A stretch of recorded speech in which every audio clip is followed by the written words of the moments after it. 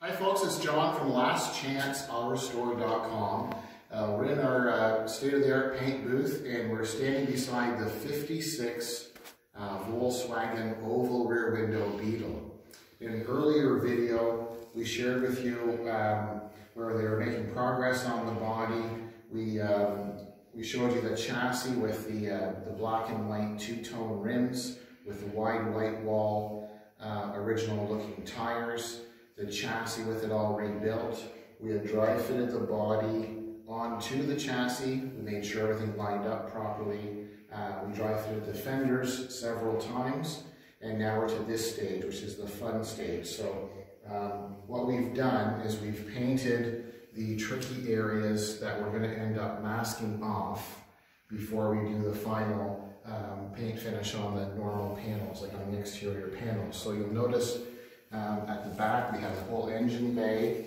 All the detail work has been done. The engine bay has all been uh, uh, primed and painted, and you can see it's uh, all obviously nice and smooth. They like to do all of the edges, and then what we'll end up doing is we'll feather them or sand, and then we do the masking. There won't be any masking lines. And then we come into the wheel wells. We've done the whole underside of the body uh, you can see we've got the whole inside wheel well. It looks like brand new and it's had extensive metal work done to it. So this is going to be a show beetle. Um, so we want to make sure it looks just as nice underneath and inside the wheel wells, behind the fenders and so on, as it does on the outside of the car.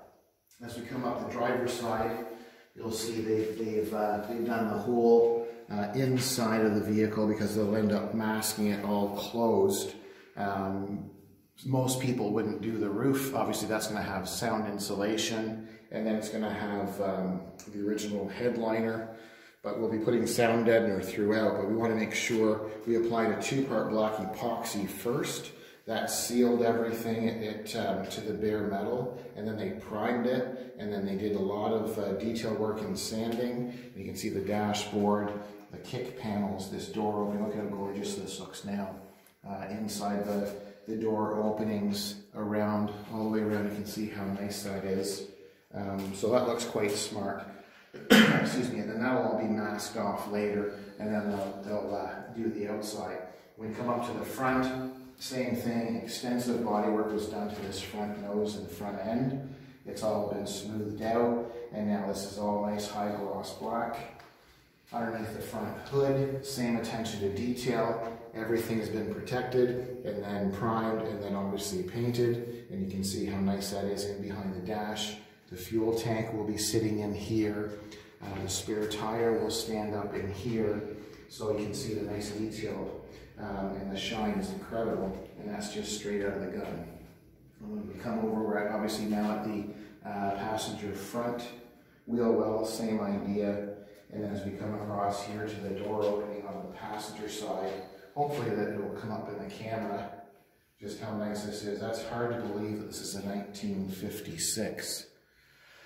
Excuse me, and as rusty as it was, um, removing all of the product and then uh, starting with bare metal and, and uh, protecting it and so on. And you can see the, the dash from this end, the front firewall, uh, that lower firewall section will be covered with carpet, same as the inner wheel wells will be. Uh, but the dash, what you see is, uh, um, will be uh, the finished dash.